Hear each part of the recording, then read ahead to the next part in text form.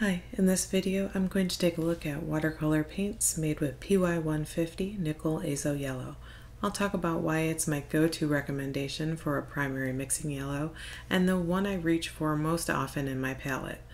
I'll swatch and compare paints made with a single pigment color as well as show you plenty of brand-made convenience mixtures all containing PY150. At the end I'll put those colors to use in a demonstration painting. Unlike some pigment numbers that have a lot of variation in color, there is very little difference in hue between brands of PY150. If you notice any color differences between the swatches, that mainly has to do with pigment load. Since the pigment looks brown in higher density, you can see that even brands that seem to be a lighter yellow at first can still be layered to reach that rich brownish mass tone. All of these paints were swatched from dry for a fair comparison regarding rewettability and ease of picking up a saturated load of color with a wet brush. My favorite brands of PY150 include Da Vinci and Sennelier for their ability to create gradient washes from dark to light that look incredibly smooth.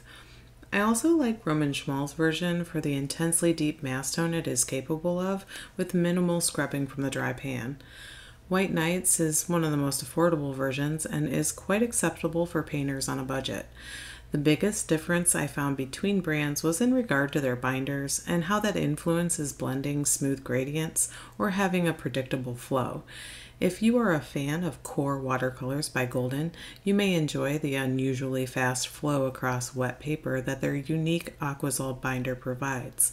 Because this can give unpredictable results that don't always lend themselves to precision, I don't usually include Core in my personal palette.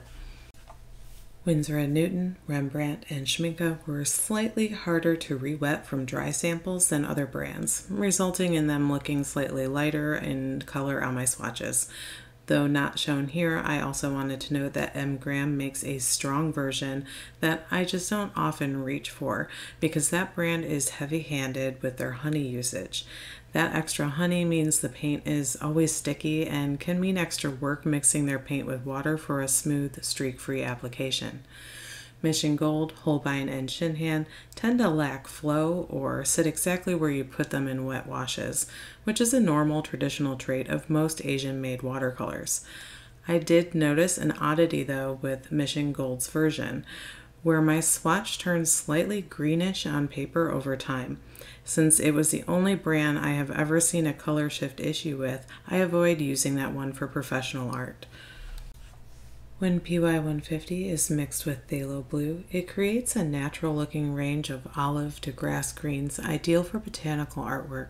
Many brands make their catalogs look more robust, particularly with a variety of leaf greens and autumn like reds, by including up to 10 different convenience mixtures made with PY150.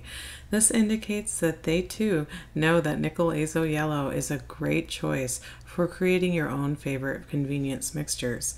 Its strong tinting strength means a little paint goes a long way, and it's one of the most light fast and transparent yellow pigments available. When diluted, it's closer to a traditional middle of the road primary mixing yellow. It's not a replacement for the cool bright yellows like cadmium PY35 or lemon light PY175, but when watered down, PY150 is a very close match for Winsor & Newton's lemon deep PY159 and an excellent replacement for the fugitive Aureolin PY40. Being so transparent, non-granulating, and staining, it performs particularly well for glazing techniques or layering for deeper values. Most companies use nickel azo yellow for replicating an old discontinued pigment called Quin Gold PO49. You may have heard about this color because it was well loved by many artists, and once it stopped being manufactured, a lot of people were looking for similar replacements. At this point, the similar mixture should be called Quin Gold Hue, meaning a replica or look-alike for a different pigment, but only Schmincke seems to be good about indicating that. I ended up testing out so many PY150 base colors for a few reasons. Sometimes they are included in a tube or pan set assortment, but as my go-to primary mixing yellow, I also seek it out individually. If I'm testing out a few paints from a new brand, I usually pick up a primary trio in addition to a couple rare or unique pigments exclusive to that company. When setting up a new palette, PY150 is almost always the first yellow I add. I love that it has a tendency to mix realistic leaf greens that are less artificial looking than starting with a bright lemon yellow or a phthalo green. When used sparingly, nickel azo yellow can also add a coral-like warmth to pink colors. Another reason I ended up with so many PY150 watercolors is when I started watercoloring, I collected colors, not pigments. I would buy any color I thought was pretty. I hadn't thought about pigment ingredients very much until looking at my collection, I saw how many of them had the same number code on the label. While a lot of these brand mixtures are beautiful and I enjoyed them as a beginner, I currently prefer the process of mixing my own colors.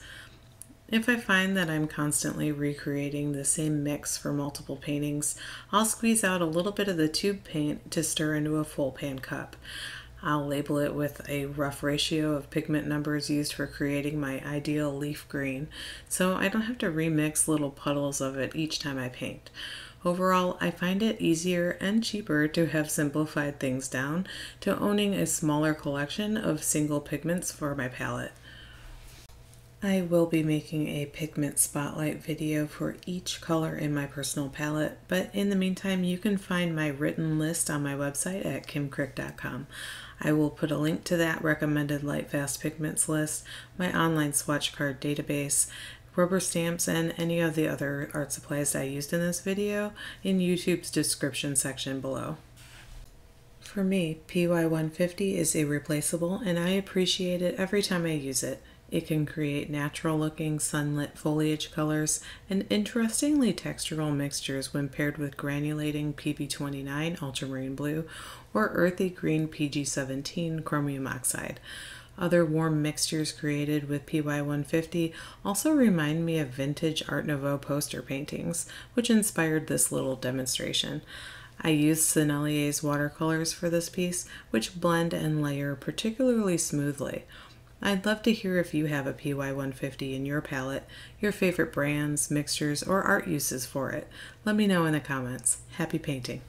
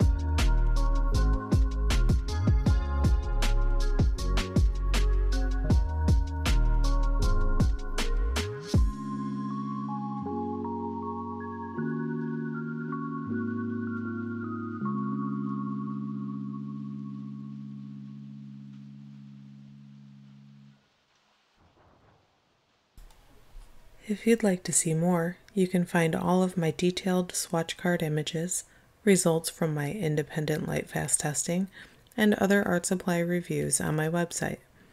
I'm currently building a huge pigment database where thousands of colors can be compared side by side with paint from other brands.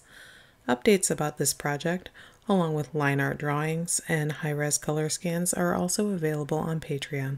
Thanks for watching.